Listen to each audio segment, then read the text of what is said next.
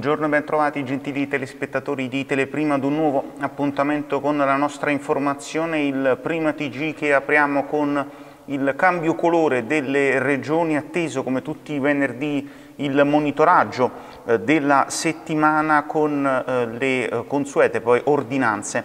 del Ministro della Salute Speranza. Sono due le regioni che rischiano di finire in eh, zona rossa, ovvero Sicilia e Basilicata, in particolar modo la situazione dell'isola è eh, delicata, già il capoluogo Palermo è praticamente in semi-lockdown, confermata un'altra settimana di zona rossa eh, per Val d'Aosta e eh, Sardegna, mentre sono due le regioni che spingono per passare invece dalla fascia rossa a quella intermedia, l'arancione, ovvero la Campania e eh, la Puglia, in particolar modo la regione governata dal presidente eh, De Luca ha un RT eh, che è in miglioramento nonostante la, la soglia dei 250 positivi ogni 100.000 abitanti non sia del tutto rassicurante. Problemi in rianimazione anche per Lombardia e Piemonte, ma al momento non sono previsti eh, cambi all'orizzonte, ci sono anche delle regioni che hanno numeri molto buoni, praticamente da fascia gialla si parla di Abruzzo, Lazio, Molise, Umbria e la provincia autonoma di Bolzano, ma come è noto eh, questi, eh, queste modifiche eh, per riportare un po' il sistema a quello che era in precedenza prima del mese di aprile si dovrà attendere mh, probabilmente i primi di maggio. Il Ministro della Salute Roberto Speranza ha parlato nell'informativa alla Camera dando un messaggio di determinazione e fiducia, ha detto non bisogna sottovalutare le difficoltà che ci sono ma ci sono le condizioni per poter guardare con fiducia alla fase che si sta eh, aprendo, c'è la possibilità di raccogliere in maniera importante i lavori eh, che abbiamo fatto, i risultati dei lavori che abbiamo fatto con i vaccini, inoltre tra aprile e giugno riceveremo il triplo delle dosi. Sentiamo proprio un estratto delle sue parole. Prima di qualsiasi altra considerazione sulla campagna di vaccinazione, c'è una domanda di fondo alla quale dobbiamo provare a rispondere a distanza di oltre un anno dal primo focolaio di Codogno. È la domanda che ci sentiamo ripetere ogni giorno, è la domanda che si pongono tutti gli italiani di ogni età e condizione sociale. Quando ne usciremo? Quando comincerà la vera ripartenza dopo mesi in cui il virus ha moltiplicato le sofferenze, le difficoltà economiche e la solitudine di milioni di donne e di uomini? Ecco perché voglio dare oggi, da Ministro della Salute, innanzitutto un messaggio di determinazione e di fiducia. Non sottovaluto le difficoltà che abbiamo ancora davanti, né le sofferenze delle persone, ma credo che ci siano le condizioni per guardare con ragionata fiducia alla fase che si sta aprendo. In ogni, in, in ogni giorno di questa nostra terribile esperienza ho avvertito l'obbligo civile e morale di dire sempre la verità al Paese sulla situazione epidemiologica. Resto convinto che questo sia un dovere inderogabile di chi ha responsabilità di governo. Ho detto la verità quando era scomoda e sinonimo di sacrifici e lo faccio adesso prospettando l'inizio di una possibile fase diversa, proprio grazie alla campagna di vaccinazione che oggi supera 14 milioni di somministrazioni.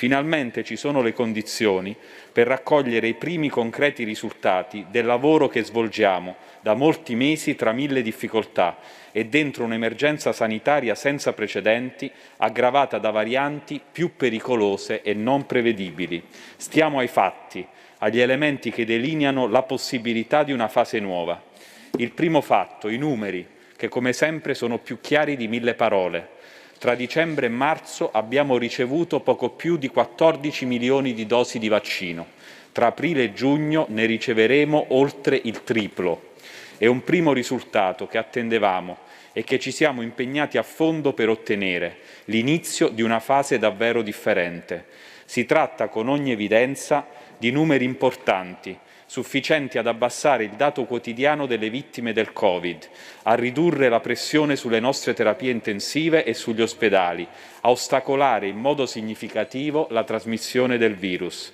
È questa la prima e necessaria condizione della svolta verso la ripresa. Non dimentichiamolo mai. I vaccini sono la chiave vera per aprire la nuova stagione. Il secondo fatto, in queste ultime settimane abbiamo creato le condizioni per mettere in campo un numero molto alto di vaccinatori. Ci sono le coperture economiche per far fronte a questa spesa e naturalmente il Governo è pronto in ogni momento a rimpinguare il fondo vaccinazioni in caso di necessità. L'Italia è quindi pronta ad una ulteriore accelerazione. Abbiamo siglato in queste ultime settimane accordi necessari con categorie molto importanti, sempre d'intesa con le Regioni, che sono pronte a impegnarsi in uno sforzo condiviso. A questo proposito, ripeto ancora una volta, numeri che ho già ricordato in altre circostanze. Grazie ai protocolli siglati possiamo contare su circa 42.000 medici di medicina generale, su circa 7.000 pediatri di libera scelta, su circa 38.000 medici specializzandi, su circa 18.000 specialisti ambulatoriali, su 63.000 odontoiatri e poi ancora su 270.000 infermieri del Servizio Sanitario Nazionale che in un'apposita norma abbiamo autorizzato a poter svolgere prestazioni aggiuntive al di fuori dell'orario di lavoro. E poi ancora 25.000 farmacisti hanno iniziato il loro corso di formazione e hanno dato disponibilità circa 11.000 farmacie che diverranno luoghi di vaccinazione. A tutte queste donne e tutti questi uomini va la profonda gratitudine del Governo e credo di tutto il nostro Paese. Ora i dati nazionali con eh, il bollettino diramato dal Ministero della Salute sono 16.974 i nuovi positivi a fronte di 319.633 eh, tamponi eh, processati con un tasso di incidenza che sale dal 4,8 di mercoledì al 5,3 della giornata di ieri. I deceduti sono stati eh, 380 mentre invece 73 in meno i posti occupati in terapia intensiva e discesa anche importante di 782 posti letto per quanto riguarda la degenza ordinaria. Eh, per quanto riguarda invece le regioni che hanno fatto registrare più casi nelle ultime 24 ore, in testa la Lombardia con 2.722, poi c'è la Campania, infine eh, Puglia, Sicilia e Lazio. Proprio in Campania sono 2.224 i nuovi positivi al Covid a fronte di 20.325 tamponi processati e 609 persone sintomatiche. La curva del contagio rimane eh, intorno al 10-11%, è stata ieri del 10,94%, 40 le nuove vittime di cui 23 nelle ultime 48 ore 17 in precedenza, importante per il numero di guariti, 2168 eh, persone che hanno avuto il tampone negativo. Aumentano però le terapie intensive, più 9 posti letto occupati in sole 24 ore, mentre invece calo della degenza ordinaria di 28 unità, sono 1557 i posti letto occupati.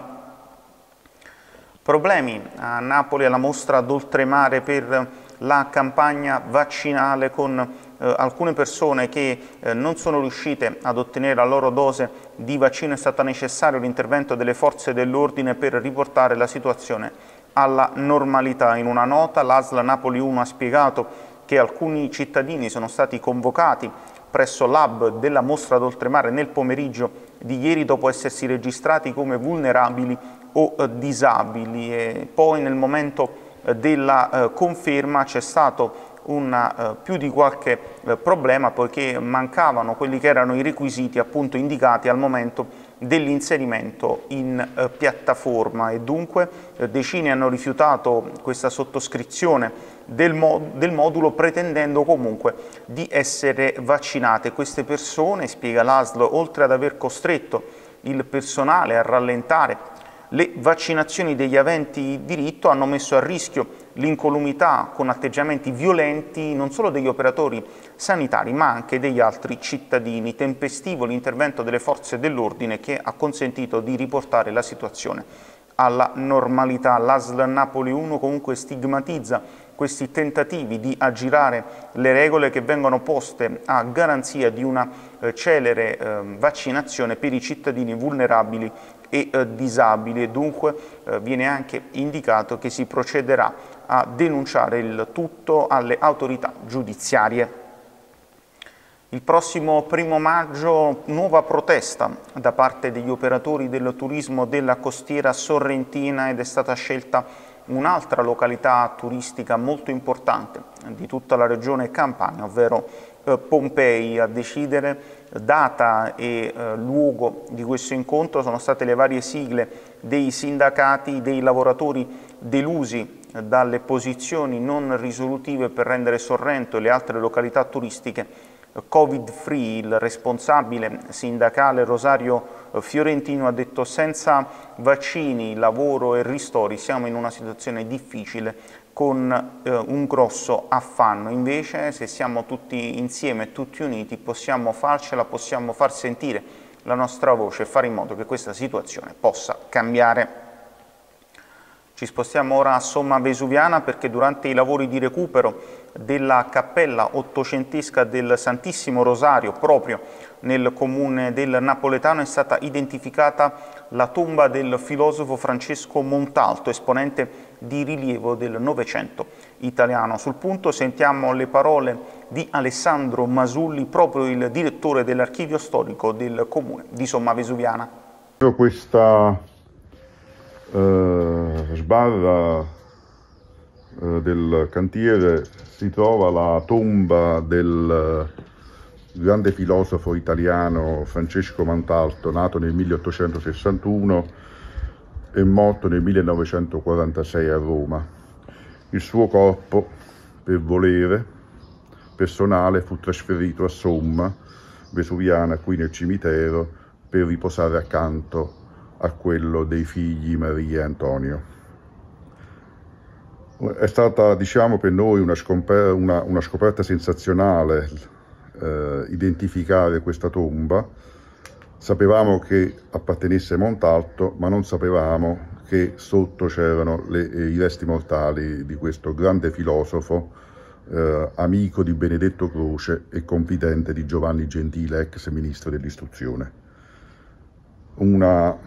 ricerca eh, riuscita grazie anche al buon lavoro eh, apportato dall'amministrazione cittadina che eh, sta recuperando una delle cappelle più importanti del nostro Camposanto, eh, eh risalente al 1860 e appartenuta alla venerabile Arciconfraternita del Santissimo Rosario. Uh, nei prossimi giorni uh, saranno qui in città i discendenti del professor Montalto, i quali hanno saputo uh, del, di questa pregevole tomba in marmo di Carrara e con loro attueremo un programma di recupero atto a concederla alla nostra città. I resti del professor Montalto sì, sono qui, eh, l'ho detto prima, perché eh, il suo volere era quello di riposare sue- accanto ai suoi figlioletti Antonio, che morì di tubercolosi, e, e Maria, che morì di endocardite. Antonio morì a Somma Vesuviana in via Strettola, nella proprietà Raimondi, Maria morì a Napoli e fu trasferita qui a Somma e le esequie si tennero nella grande monumentale chiesa di San Domenico, all'epoca retta dai teresiani scalzi, Perché carmelitani eh, scalzi teresiani. Perché erano a Somma? Erano a Somma perché Somma all'epoca nel 1905 era un luogo di villeggiatura e tanti,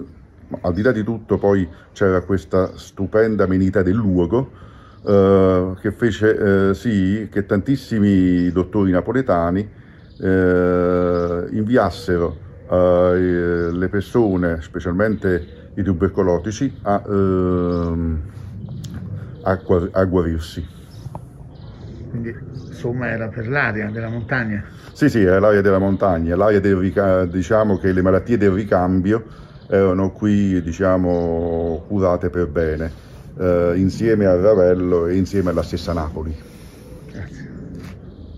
A Caserta, nuovo aggiornamento della curva pandemica, sono 342 i casi nelle ultime 24 ore con i dati forniti dall'unità di crisi della regione eh, Campania, la, eh, la, che è la seconda provincia campana che ha fatto registrare più casi eh, giornalieri, dopo Napoli, poi seguita da Salerno, Benevento e eh, Avellino, dunque i dati che non sono stati diramati dall'ASL di Caserta sono stati eh, dedotti appunto dal bollettino regionale e come si diceva eh, di questi, di, di, dei 2224 che abbiamo analizzato a inizio del telegiornale sono proprio 1261 che risiedono a Napoli e a Caserta 342 positivi. Chiudiamo con il calcio, giornata importante per il Napoli che ha annunciato una novità per la sfida contro l'Inter, ovvero la nuova divisa che verrà indossata proprio nella sfida di domenica contro la capolista e la maglia eh, che sarà anche utilizzata la prossima stagione firmata dal noto stilista Marcelo Burlone. Nella nota diramata dal club partenopeo si legge di questo accordo con eh, Marcelo Burlone e K, un brand per far aumentare quella che è l'importanza internazionale della società sportiva Calcio Napoli, una linea celebrativa per trasmettere cultura, tradizione, tutta l'internazionalità proprio del Napoli grazie alla visione e l'estero creativo di Marcelo Burlon. Una vetrina della presentazione ufficiale appunto sarà la partita del prossimo 18 aprile quando le divise eh, del noto stilista verranno indossate contro l'Inter. Nella sfida però mancherà il portiere colombiano David Ospina, uscito infortunato eh, a seguito della partita contro la Sampdoria, una distrazione del bicipite femorale, per questo motivo resterà fuori una ventina di giorni saltando praticamente quattro partite. Vittoria nella giornata di ieri per la Casertana che ha battuto il Monopoli nel recupero della sfida di Serie C non giocata a suo tempo per un focolaio che ha colpito la compagine pugliese, dunque il sogno playoff rimane ancora vivo al termine dei 90 minuti analisi di mister Guidi e del portiere Avella, li ascoltiamo in conferenza stampa. Sì, la squadra ha fatto una grande partita, ma è la risposta anche a tutti quelli che pensavano che questa squadra avesse mollato, che non credeva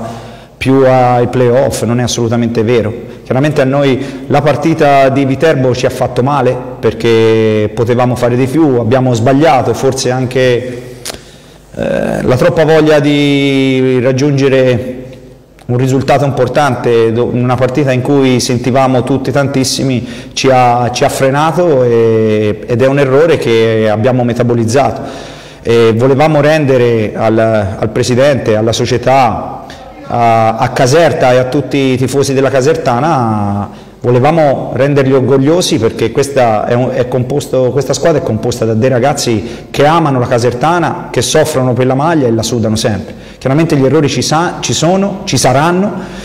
eh, però questi sono ragazzi meravigliosi e noi vogliamo continuare a giocare al massimo delle nostre forze, consapevoli che a volte le cose che prepariamo, le cose che vogliamo fare non vengono eh, però questo non deve mai minare la professionalità e il carattere di questi ragazzi perché amano la casertana, sono orgogliosi di sudare, di sudare la maglia e quindi nessuno, nessuno, si deve permettere di mettere in dubbio la professionalità di, questa, di questi ragazzi e soprattutto questi ragazzi soffrono quando non ci riescono perché eh, sanno quanto sono calorosi i tifosi della Casertana e, e vogliono regalare loro delle grandi soddisfazioni. Eh, fortunatamente è andata bene, sono stato anche un po' fortunato in qualche occasione, però eh, va bene così. Il Monopoli ci ha provato fino alla fine e sono stati anche bravi, ci hanno messo eh, lì in area, non riuscivamo a uscire, però abbiamo tenuto botta e abbiamo dimostrato che, eh, che ci siamo. No, no, non è così perché siamo tutto un gruppo di, di giovani e quindi il mister ce lo dice sempre, eh, se vogliamo ambire a qualcosa, qualcos'altro eh, ci deve aver fame anche quando, eh, quando eh, praticamente eh, secondo il percorso nostro eh, siamo partiti da lì giù e adesso siamo nei playoff, bisogna sempre aver fame, sempre voler fare di più e quindi, e quindi l'abbiamo dimostrato. Eh, questo è un gruppo unito, ehm, qualcuno l'ha messo in dubbio nelle due partite precedenti ma ancora una volta abbiamo dimostrato che nelle difficoltà noi sappiamo eh, come uscirne e l'unico modo eh, che conosciamo è quello di stare insieme, eh, uniti e solidi, quindi è stato così. Con il calcio chiudiamo questa edizione del nostro telegiornale, vi ringrazio per averci seguito e vi auguro un buon proseguo di giornata, arrivederci.